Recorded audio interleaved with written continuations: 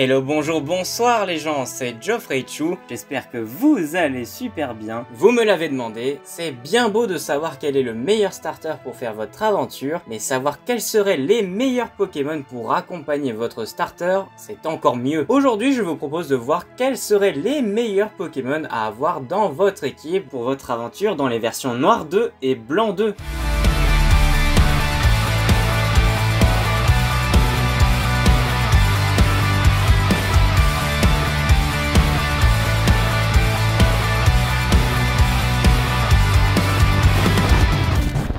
Quelques infos avant de commencer. L'équipe que je vais vous proposer est subjective. Il s'agit de mon analyse personnelle sur ces jeux. Autre point important, j'ai fait attention de ne mettre aucun Pokémon exclusif à un jeu. Comme ça, peu importe la version que vous prendrez, vous n'aurez pas de problème pour construire cette équipe. Également, j'ai fait attention de ne mettre aucun Pokémon évoluant par échange, afin que vous puissiez faire cette aventure tranquillement sans vous prendre la tête. Pour débuter notre aventure, nous allons commencer par le start Ayant déjà fait une vidéo explicative sur les raisons de pourquoi privilégier ce starter plutôt que les deux autres, je ne m'attarderai pas sur les détails. Si vous n'avez pas encore vu la vidéo, je vous invite à aller la regarder. Le lien est dans la description et en commentaire épinglé. Maintenant, nous allons voir quelle sera la meilleure team qui accompagnera votre starter durant votre aventure. Le deuxième Pokémon de votre équipe sera l'Arveillette. De type insecte et plante, il évoluera en couverture au niveau 20 puis en maternelle par bonheur. En aventure, les Pokémon évoluant par bonheur sont assez faciles à obtenir, malgré la frustration que ça soit assez aléatoire. Il sera trouvable facilement sur les routes 12 et 20. Ce Pokémon sera un atout offensif de votre équipe vers le milieu de votre aventure. Il pourra battre facilement l'arène sol et eau, en plus de vous faciliter les combats contre le type spectre et psy au conseil 4. Le troisième Pokémon de votre équipe sera Magnéti. De type électrique et acier, il sera votre pilier défensif principal. Il évolue en magnéton au niveau 30, puis en magnézone en le montant de 1 niveau à la grotte électrolyte. Il est facilement trouvable à la zone industrielle d'Onde-sur-Mer. Dans un premier temps, vous serez immunisé aux attaques de la championne poison et le champion insecte ne vous touchera presque pas avec ses attaques pas très efficaces. Vous pourrez ensuite faire d'énormes dégâts à l'arène vol et eau grâce à de puissantes attaques électriques. Le quatrième Pokémon de votre équipe sera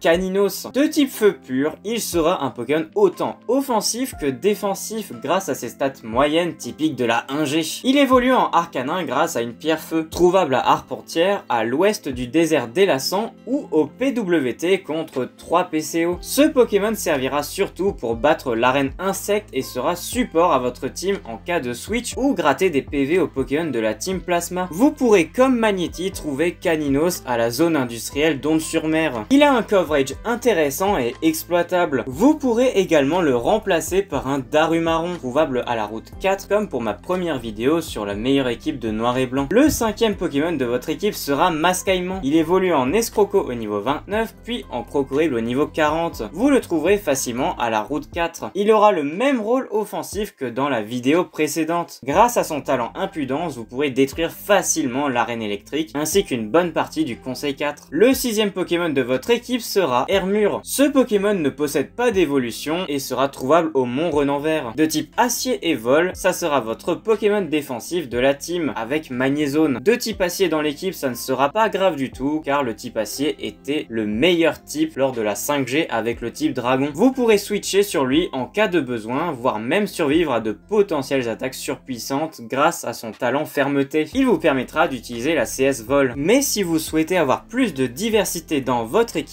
je vous propose d'avoir un Diamat. Il évoluera en Trioxydre qui lui aussi pourra apprendre la capacité vol. Le seul bémol c'est que vous ne l'obtiendrez qu'à la route victoire, donc très tardivement dans le jeu. Diamat est un Pokémon de type dragon et ténèbres. Il évolue en Trioxydre au niveau 64. Il a un potentiel dingue offensif et sera un monstre pour votre équipe. Le Conseil 4 ne pourra pas tanker énormément de ses attaques et si vous l'entraînez très bien avant la ligue, vous pourrez battre très facilement la championne Iris. J'espère que la vidéo t'a plu, n'hésite pas à liker, commenter, partager, mais surtout de t'abonner à cette chaîne et d'appuyer sur la cloche de notification pour ne pas louper les vidéos suivantes. N'oubliez pas, un beau rêve peut devenir votre réalité.